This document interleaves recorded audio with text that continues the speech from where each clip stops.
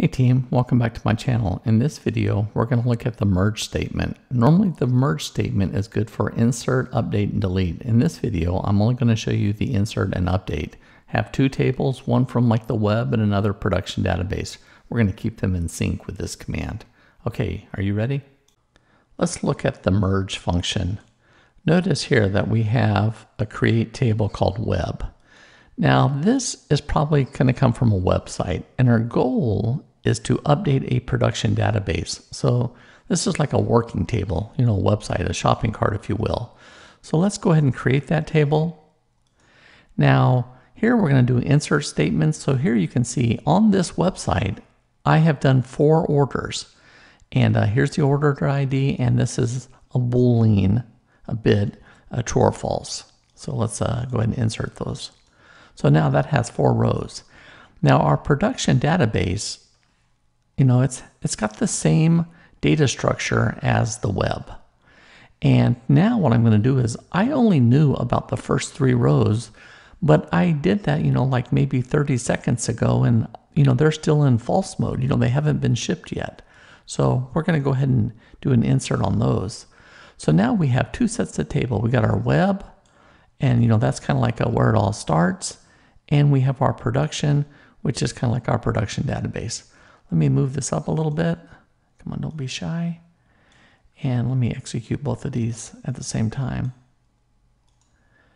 All right.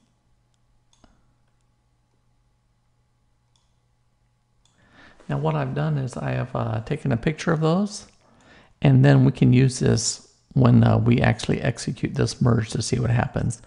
But notice in this for statement one, we've got all ones going down there. And this is from the web.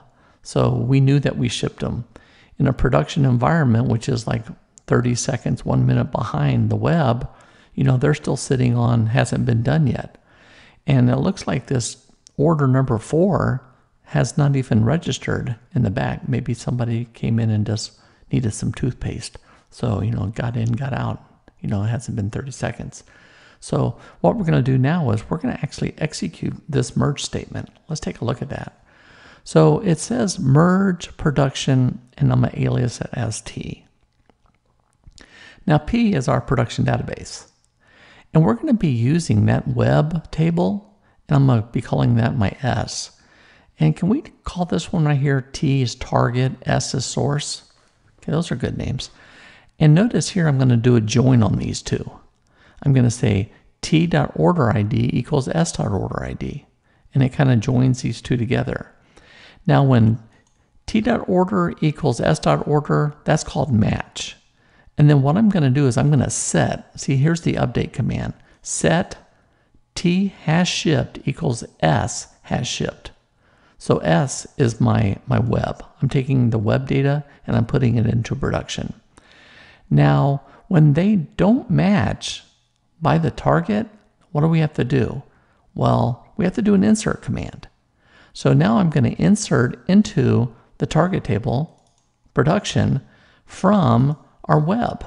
I'm going to get two values. So you'll see down here when we get done with this, we'll have uh, all of these set to one and we'll have one new line down here. In fact, they'll look identical. And that's the goal of this merge thing. Okay, so let's execute this and see what happens. Ready? One, two, three, bang. Okay, and now we're going to come up here and print these. And don't be shy. And execute. And let me bring this up again. Okay, so here's the web. Here's our production database. And just as I told you, all of these ones got moved down here in the update statement. And this four was put in here by the insert statement. And that's how it is done.